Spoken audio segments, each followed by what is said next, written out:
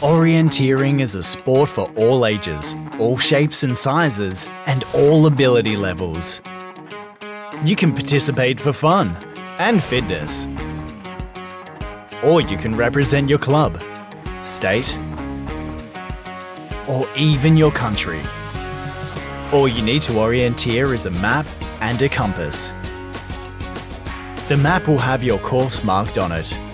Water is always provided and you wear a small receiver on your finger to register your visits to each marker.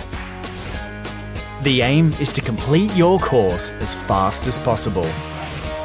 The countryside varies, but is usually hilly, with plenty of trees. So getting scratches and bumps is always a possibility, as well as wet feet, or sometimes just plain wet.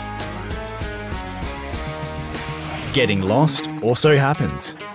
As bush orienteering uses private property, national parks, reserves, or state forests.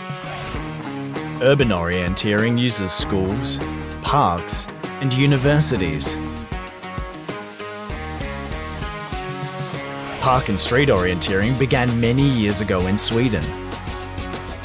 In Switzerland, Daniel Hubmann, who is seven times world orienteering champion, is nearly as well known as Roger Federer. The landscape in Australia is a bit different to Europe, and it's not all about the competition. Orienteering is a family sport where you can spend time together outside. Friends are made who sometimes stay friends for life. Relays are fun with their mass starts, and when competing in teams of three, a sprint finish is always exciting. After an event, there's lots of discussion about which route was good or bad, and sometimes there's even a celebration afterwards. So yes, we do run. It's a race. Orienteering is navigation on the run. So all those things your mother told you about watching where you're going, they don't apply. You don't always have to run if you don't want to, especially uphill, but it's best to know where you are, or where you think you are and above all else, have fun.